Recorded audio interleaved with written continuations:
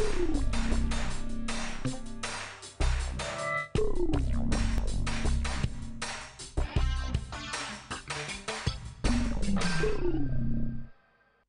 Добрый день, уважаемые. Как всегда, в понедельник мы разговариваем на важные актуальные темы в нашей одноименной программе. Сегодня в течение получаса мы обсудим деятельность городской прокуратуры, приведем статистику и узнаем, какие законы приступают чаще всего на территории муниципалитета.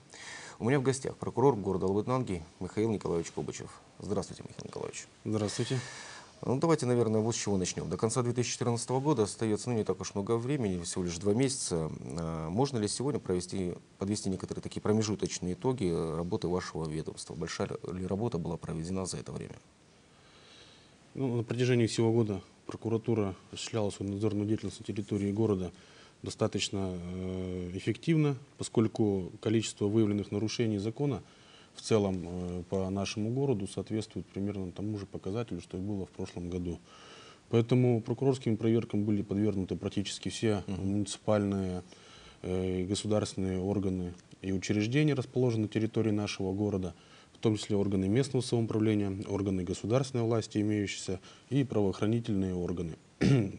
Уже можно говорить о том, что за 10 месяцев текущего года органами прокуратуры на территории города Лабытнанги выявлено более 1200 нарушений закона, в том числе и в таких приоритетных направлениях, как противодействие коррупции э, в сфере жилищно-коммунального хозяйства. Э, данные сферы, большое количество нарушений, опять же, выявлено в сфере трудовых правоотношений. Все эти приоритетные направления, они остаются приоритетными в деятельности органов прокуратуры. И уже на протяжении нескольких лет именно им уделяется наибольшее внимание. Ну вот смотрите, если вот говорить, наверное, о главных каких-то делах, которые вы расследовали, которые вы вели, на которые обращали внимание, вот, э, что бы вы выделили как главное, ну, что резонансное для нашего муниципалитета? К счастью, э, на территории города Лабытнанги впервые за пять лет до настоящего времени не зафиксировано ни одного убийства в течение 2014 года. Этому предшествовала большая э, работа органов прокуратуры э, совместно с правоохранительным органом по профилактике преступности, угу. поскольку пресекались правонарушения и преступления, которые чаще всего приводили к убийствам. Это нанесение побоев, совершение Э, преступления, предусмотренные статьей 115 Уголовного кодекса, 112 причинение средней тяжести вреда здоровью. Э, как чаще всего э, показывал опыт, такие преступления совершались именно на семейно-бытовой почве в процессе распития спиртного. Так вот, количество таких преступлений, как называемые преступления двойной превенции, на территории города было выявлено на порядок больше по итогам 9 месяцев, что способствовало, конечно, сокращению количества убийств, совершенных на территории нашего муниципального образования. Э, вот э, в текущем году в сфере противодействия коррупции, к сожалению, произошло небольшое снижение числа зарегистрированных преступлений. Это плохо или хорошо? Э, знаете, тут можно двояко относиться. Ведь коррупция, она такое латентное явление, оно в угу. любом случае присутствует. И если количество снижается выявленных преступлений коррупционной направленности, это может лишь говорить об одном. Это либо работают сотрудники правоохранительных органов, обязанных осуществляться оперативной работой, на территории города. Ну, либо мы тогда э, победили коррупцию, чего, к сожалению, я сказать не могу, поскольку, как я вам говорил, что органами прокуратуры выявлено пять преступлений коррупционной направленности, а за весь период текущего года всем отделом внутренних дел выявлено одно преступление. То есть это свидетельствует о том, что преступление коррупционной направленности есть, но специализированный орган бездействует. А возможно и меняются схемы да, какие-то коррупционные, потому что это имеет место быть тоже. Ну, безусловно, коррупционные схемы не могут меняться, но, знаете, самым распространенным коррупционным преступлением все-таки остается мошенничество, где можно было похитить какие-то денежные средства. Все вокруг вьется около бюджета, около э, заключения муниципальных контрактов, неисполнения их надлежащим образом и хищением э, бюджетных денежных средств. Э, в текущем году в отношении руководителя одной из, управля... Э, одной из товарищей собственников жилья было выявлены факты хищения денежных средств. В настоящий момент это уголовное дело расследуется следственным отделом по городу Лабытнанги, -huh. Следственного комитета. Выявлены факты превышения должностных полномочий, повлекшие ущерб бюджету муниципального образования в деятельности одного из руководителей муниципального учреждения, в отношении которого возбуждено также уголовное дело по статье 286 Уголовного кодекса Российской Федерации. Дело также находится в следственном отделе по городу Лабытнанги, проводится его расследование. До этого он был объявлен в федеральный розыск, сейчас его местонахождение установлено. Проводятся соответствующие следственные действия, направленные на установление истины по делу. вот. Э, к счастью, на территории нашего муниципального образования в текущем году факты взятничества выявлены не были. Между тем, только в прошлом году э, на территории города было зарегистрировано 16 преступлений, связанных именно с получением взяток. Это были в отношении э, сотрудников нашей исправительной колонии возбуждены эти уголовные дела. Уголовное дело было направлено в суд для рассмотрения по существу. И пока еще судебное разбирательство не закончено по делу, поэтому говорить и поставить точку в этом деле еще рано. Э, возбуждено в этом году уголовное дело по факту хищения э, денежных средств, совершенное сотрудником службы судебных приставов. Э, в общем, в принципе, работа ведется целенаправленная, факты, говорю, такие выявляются.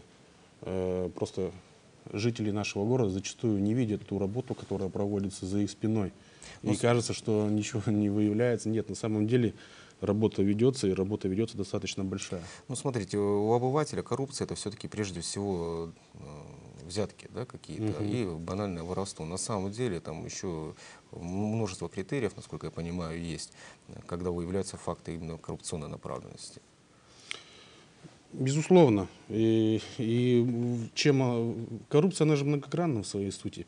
Э, коррупционным правонарушением, преступлением, административным э, правонарушением относятся в том числе э, те нарушения, связанные с проведением муниципальных закупок для mm -hmm. государственных муниципальных нужд. Так называемый федеральный закон 44, да, о государственной о контрактной системе в сфере закупок, при которых совершается наибольшее количество правонарушений в сфере э, противодействия коррупции. Потом э, сейчас очень сильно развито законодательство о государственной муниципальной службе, которая, вы знаете, предусматривает для чиновников всех уровней различные ограничения, связанные с нахождением должности, начиная там, от предоставления угу. сведений о доходах и расходах и заканчивая там, запретом заниматься предпринимательской деятельностью и при установлении таких фактов э, просто должностное лицо может быть уволено со службы в связи с утратой доверия. Э, вот э, наиболее распространенным в данной сфере является, конечно, предоставление сведений о своих доходах, которые муниципальный там, государственный чиновник предоставляет ежегодно в свое кадровое подразделение. Прокуратура города активно проводится проверки в этой части.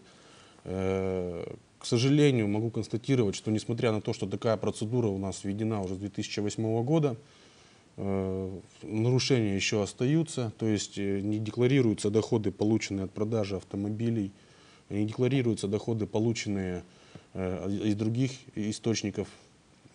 Прокуратура-то ведь эти все факты выявляет, соответственно, принимая меры прокурорского реагирования, привлекаются должностные лица дисциплинарной ответственности. Как я говорю, грубые нарушения могут повлечь за собой увольнение этого э, государственного муниципального служащего со своей должности. Но ну, на сегодня законодательство что говорит? Э, насколько э, оно сегодня серьезно по отношению к таким лицам, которые нарушают законы? Увольнение, критерии, штрафы. Критерии, да, критерии. Как говорил Путин, от... где посадки? Критерии ответственности чиновников сегодня достаточно распространены, потому что если брать, когда только начиналось 2008 год, самым распространенным это было возбуждение уголовных дел, а зачастую вот эти все мелкие нарушения в сфере противодействия коррупции, они выходили боком, поскольку не был разработан механизм ответственности чиновников. Сейчас этот механизм разработан, внесены изменения в Трудовой кодекс Российской Федерации, предусматривающий ответственность вплоть до увольнения э, этих чиновников. Э, и предусмотрена административная ответственность за коррупционные правонарушения и преступления, вплоть до штрафа до, до миллиона рублей. На юридических лиц могут накладываться те, которые, э, если их там чиновники потворствуют взятничеству там, угу. и так далее. Ну и, конечно, это уголовная ответственность. Расширен перечень статей Уголовного кодекса Российской Федерации.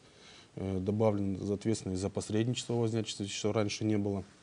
То есть это когда лицо способствует э, получению взятки должностному лицу, либо э, просто иному гражданину. Поэтому спектр ответственности очень разнообразен. И мне кажется, в настоящий, момент он полностью прикрывает все коррупционные правонарушения, которые совершает нечестный чиновник, так можно сказать. А, Помните, у нечестных чиновников было любимое выражение, такое как э, откат. Да? Вот это удалось победить, эту беду, которая была повсеместно. Система откатов, ну это прямое взятничество, э, завуалированное недобросовестными чиновниками. Э, На мой взгляд, сегодня эта система в той в полной мере, какой она была раньше в городе, конечно, не работает. Были проведены, в том числе, проводится ежед- ежегодный, ежемесячный, даже я бы сказал, еженедельный мониторинг сети интернет в сфере закупок. То есть мы постоянно видим, кто участвует, кто принимает участие э, в осуществлении закупок для государственных муниципальных нужд. Э, В режиме, так сказать, онлайн мы проверяем все эти контракты, и тут э, получить откат э, у какого-то чиновника, ну, фактически уже невозможно. Да я и думаю, что э, чиновники уже сами знают о том, насколько серьезно вся эта процедура проводится.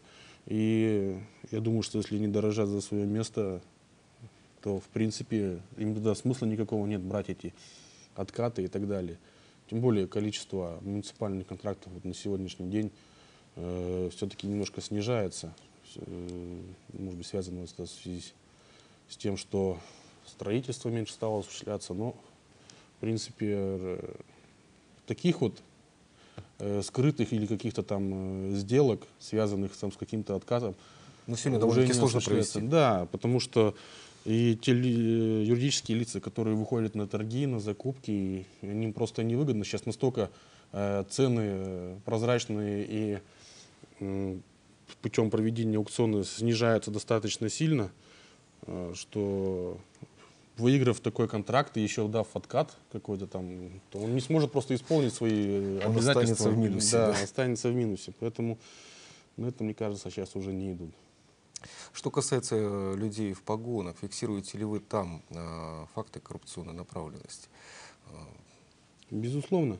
Ведь э, лица, обладающие властными полномочиями, к которым относятся представители власти, они также входят в группу риска, где получа, совершают э, коррупционные правонарушения. Но я хотел бы отметить, что на протяжении вот четырех лет на территории нашего муниципального образования фактов взятничества среди должностных лиц нашего отдела внутренних дел не выявлено. То есть э, фактически э, таких фактов зарегистрировано не было. Я боюсь утверждать, что таких фактов вообще нету, да, потому что если не выявлено, то я же, как объяснял, уже не знать, что они на самом Их деле нет. отсутствуют, да. Вот. Но, по крайней мере, такие факты не выявлялись. В других муниципальных образованиях были такие факты, в нашем э, пока таких фактов выявлено не было. Да, они допускают, сотрудники правоохранительных органов, нарушение антикоррупционного законодательства, связанное в первую очередь с нарушениями федерального закона о государственной службе. Это я, как уже говорил, да, при выявлении и укрытии дохода в виде там, продажи автомобилей, машины. квартир, там, э, И то, скорее всего, это все делается не специально. Ну, я думаю, безусловно, да. или по- или по Но, причине. тем не менее, акты реагирования э, вносятся, лица должностные привлекаются к дисциплинарной ответственности. Вот в этом году привлечено 15 должностных лиц числа сотрудников отдела внутренних дел, укрывших свои доходы э, ну, вот таким вот способом. Эти доходы сегодня тоже можно посмотреть все сети в интернет. Конечно. Ну, тут я не буду раскрывать методику проведения этих проверок, она достаточно сложна, и к ней надо готовиться не, э, не одну неделю, так скажем, чтобы выявить э, все данные факты. Но эта методика существует, и мы пользуемся. Да, поэтому оставим это все за кадром. А, Хотелось поговорить о тех людях, которые дают сами взятки. Что с ними происходит? Выявляются ли такие вот подобные нарушения у нас на территории муниципалитета? Два года назад на территории э, города были зафиксированы два сообщения о преступлении э, в получении, в даче взятки именно гражданскими лицами, жителями нашего города. По одному факту было возбуждено уголовное дело, лицо было осуждено. Но вот с того времени пока больше тоже таких фактов не фиксировалось. Ведь на самом деле поймать э, взяткодателя тоже достаточно сложно. Это необходимо проводить комплекс оперативно-розыскных мероприятий. Вот просто если жителям города известно таких фактов, что кто-то получает взятки, кто-то дает. Э, пожалуйста, обращайтесь в органы прокуратуры, будем проводить проверки, фиксировать, ну и привлекать к ответственности данных лиц.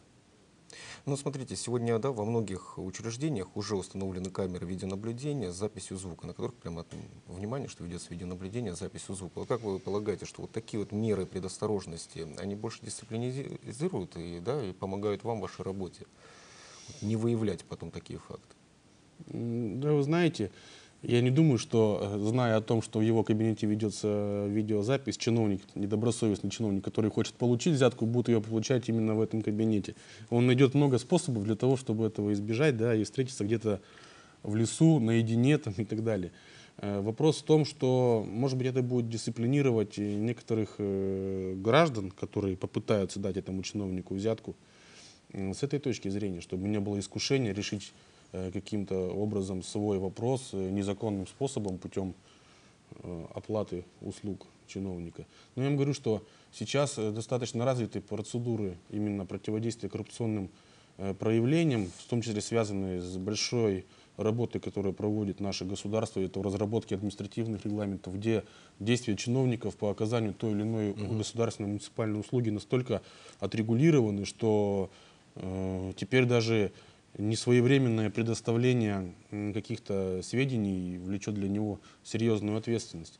И ведь на самом деле ведь очень э, далеко мы шагнули по сравнению с тем, что было. И как стало. Как, да, как стало, что теперь мы э, для, для получения каких-то документов просто приходим и пишем заявление, а сбором документов занимаются непосредственно сами органы государственной власти и органы местного самоуправления, переложив вот эту обязанность пройти по нескольким конторам и учреждениям для человека это же всегда была проблема. А теперь они сами все это делают. И, в принципе, я считаю это правильно, потому что раз они получают заработную плату за оказание свою, они в первую очередь должны людям помогать, а уже потом только думать о себе. Ну, смотрите, прокуратура, в принципе, штат небольшой. А кто вам помогает вообще бороться еще на этом поле коррупции? Ну, прокуратура, штат небольшой, действительно, но ведь э, прокурор э, является координатором деятельности всей правоохранительной системы. И в соответствии с указом президента именно на прокурора возложена координация деятельности правоохранительных органов в борьбе с преступностью. Я говорю тут не только о коррупции, но еще в целом о борьбе с преступностью. Поэтому проводятся различные координационные совещания с участием всех правоохранительных органов. Ведь первые лица Э, правоохранительных органов города входят э, в координационный совет, который проводит прокурор, на котором обсуждаются э, те сложные вопросы, которые наболели в сфере борьбы с преступностью, и направляется в то или иное русло деятельность правоохранительных органов с целью пресечения и предотвращения тяжких преступлений. И я думаю, что вот в этой роль прокурора, конечно, тоже нельзя недооценивать в целом.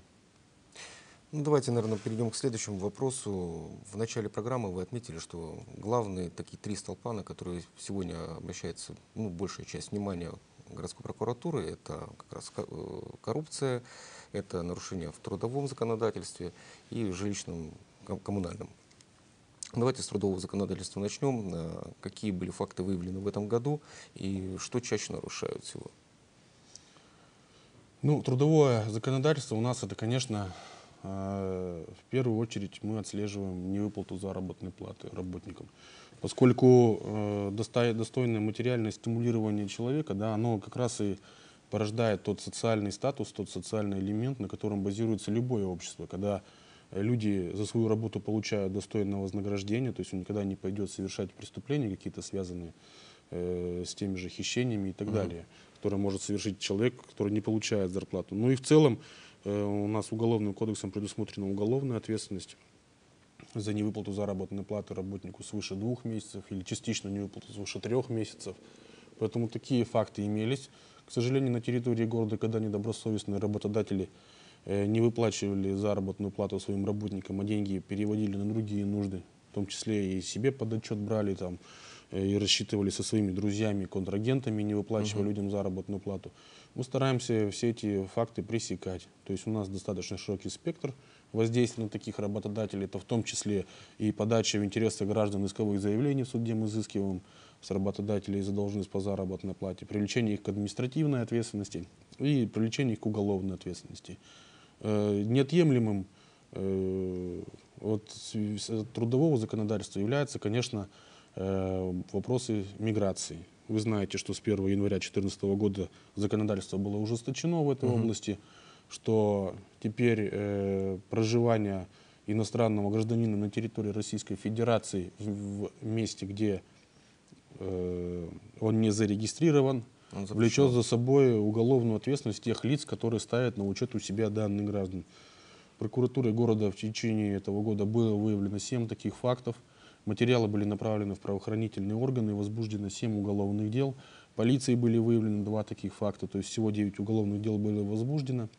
Э, И уже сложилась так судебная практика, что лица привлекаются к уголовной ответственности, и где с мерой наказания ну, наиболее такое строгие. Вот у нас были штрафы до 100 тысяч рублей в отношении тех лиц, которые ставят э, у себя по месту жительства на учет мигрантов. Ведь мы вскрывали такие так называемые резиновые квартиры, где было зарегистрировано по 82 иностранных гражданина, которые фактически там Мгм. никогда не проживали. И граждане уже поставили это на поток э, зарабатыванием денег. То есть брали от 500 до полутора тысяч э, рублей за постановку такого гражданина у себя дома э, по месту пребывания. Не задумываясь о том, что чем занимается этот человек, который прибыл неизвестно откуда, неизвестно с какими целями, где он проживает на территории нашего города и чем он занимается. Что у него в голове, мы об этом не знаем. Поэтому с учетом э, последних э, э, событий наших. событий, да, и в том числе э, развитием терроризма на территории во всем мире, да, и вот исламское государство вот активизировалось. Мы ведь, э, из их сфер влияния в том числе распространяются на Среднюю Азию, откуда у нас идет основное количество мигрантов. И Поэтому надо немножко степень ответственности гражданской повышать в этом плане. Ну, это, наверное, и граждане должны сами быть более ответственны, если они видят, где нарушается закон, они должны сообщать. Конечно. Эти правовое государство подразумевает очень активную позицию гражданского общества и в целом граждан э, в осуществлении э, и становлении правового государства. Это когда э, закон имеет э, самую главную степень и степень защиты, в том числе и их, от э, какого-либо преступного посягательства. И если граждане будут э, активнее, активнее участвовать в этом, но это, с моей точки зрения, наоборот, только положительно будет играть фактом.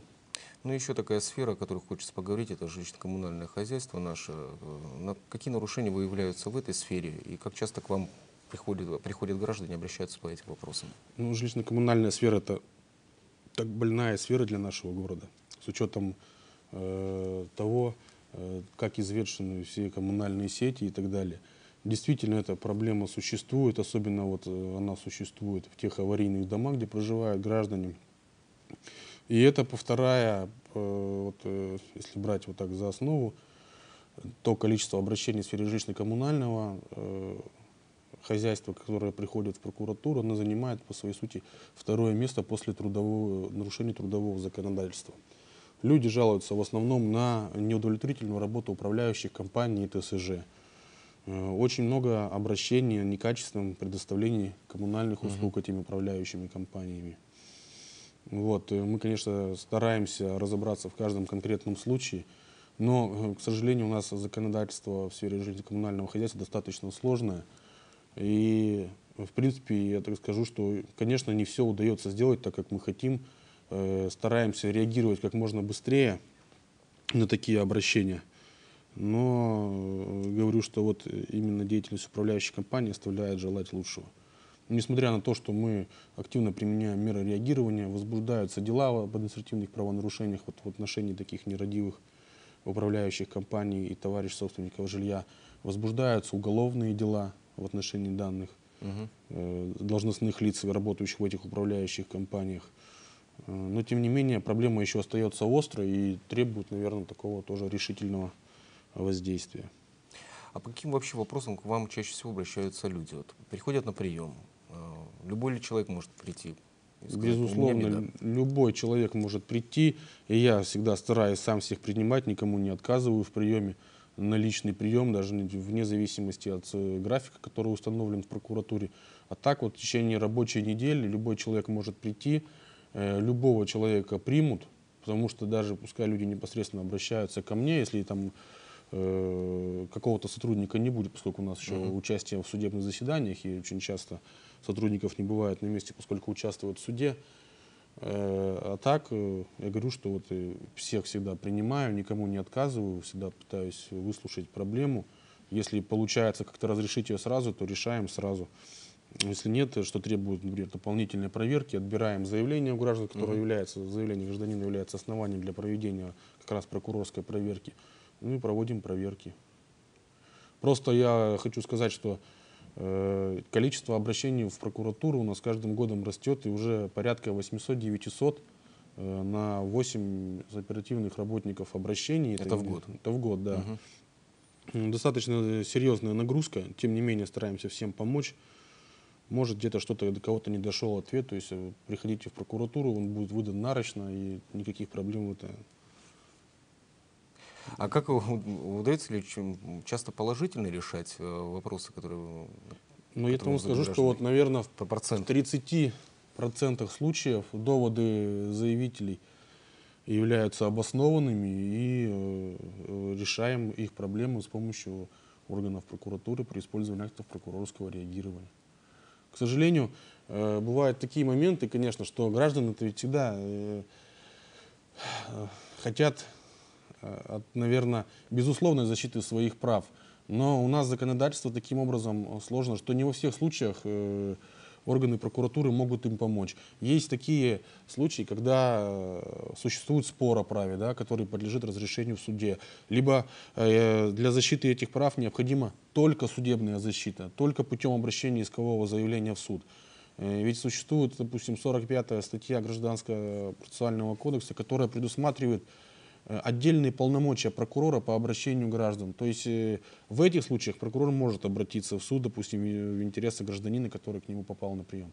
Но в остальных случаях закон не наделяет нас этими полномочиями, и мы вроде бы э, И хотим. и хотим помочь, но по закону мы не сможем этого сделать, поскольку даже в суде эти заявления не примут от лица прокурора. Но вот тут в этих случаях мы идем иногда э, и помогаем людям просто составлять исковые, Исковые заявления, заявления. да, чтобы они от своего имени обращались в суды. А, Михаил Николаевич, а, в этом году много, мы уже начали говорить, что много стали обращать внимание на миграционную политику. Вот на ваш взгляд, достаточно ли сегодня принимается мер для того, чтобы оградить, э, сделать нашу страну безопаснее, ну, в том числе и наш муниципалитет, потому что мы видим, э, мигранты едут. Делается, так скажу, что очень много. И вот последние, говорю, даже те изменения, которые были приняты, это уже был э, уже последние те законодательные инициативы, с которыми в это вышел президент, администрация президента. Они, конечно, во многом помогут навести порядок в сфере миграционного законодательства, а как раз в первую очередь это борьба с резиновыми квартирами. То есть вот именно с таких вот э, первооснов и надо, необходимо начинать было эту работу, чтобы упорядочить э, именно законодательство в этой области, чтобы э, мы хотя бы могли реально представлять, кто находится на территории И нашей страны и сколько их фактически человек, и где они в этот момент находятся. Ну, это только мы в начале пути стоим, и поэтому эта работа требует достаточно э, серьезного отношения. Я думаю, что постепенно-постепенно порядок и в этой сфере будет наведен.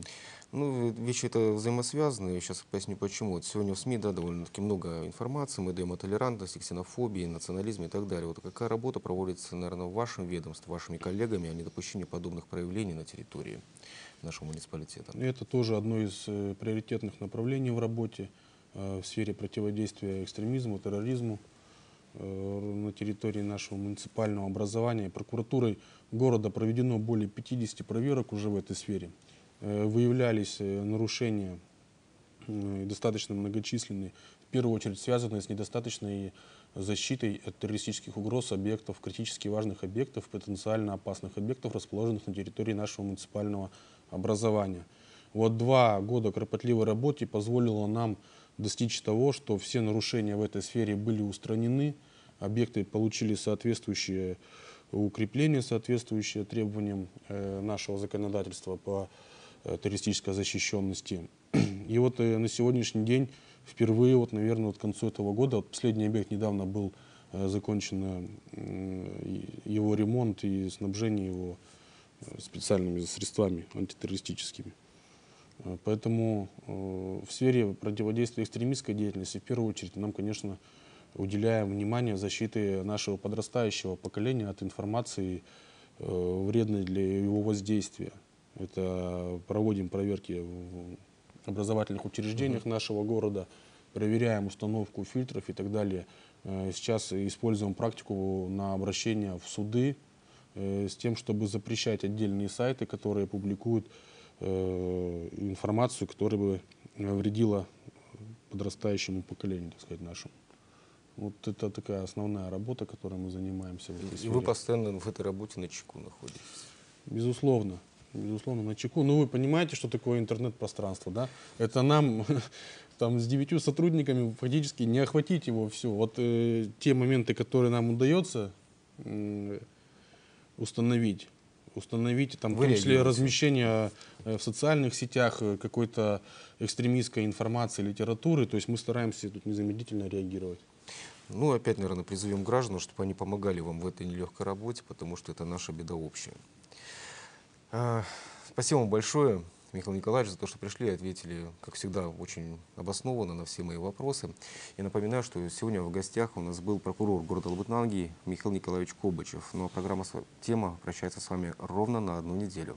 До свидания.